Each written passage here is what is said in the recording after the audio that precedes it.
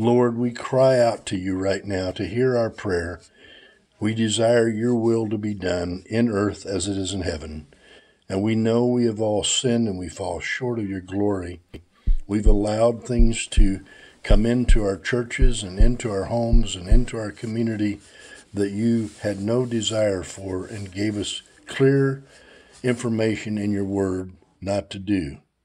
So now we ask, Lord, that even during this time of this coronavirus, if this is a judgment from you,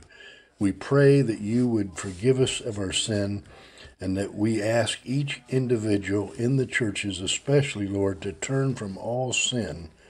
that we might go into our neighborhoods and, and cry out and be the help that people need to get through this. And that we pray, Lord, that many will come to you during this time and that a great awakening would come forth through this time. But right now we cry out, Lord, and as I cry out with the shofar and a cry with the ram's horn, as it was on Mount Sinai when the ram was caught in the thicket and Abraham was able to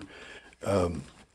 take the ram and put it on the altar as a sacrifice instead of Isaac, we choose now to cry out with the shofar in that same way, Lord, right now, in Jesus' name.